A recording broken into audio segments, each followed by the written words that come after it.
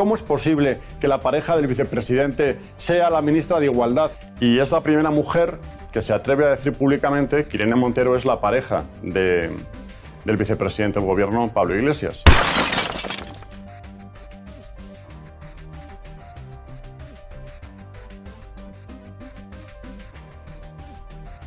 ¿Se imaginan ustedes al presidente Rajoy que tuviese nombrada de portavoz a su pareja?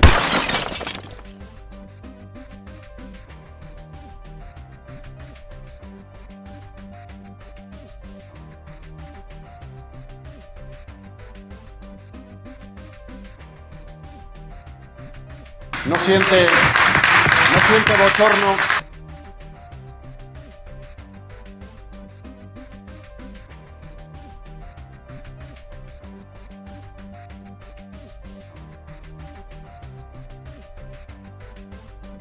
Montero es una ministra que ha preparado cero leyes, no ha hecho más que meter al gobierno en líos, no ha hecho, lo, de lo único que se le conoce es que todos los españoles le pagamos la niñera al, matrimonio de, de Galapagar.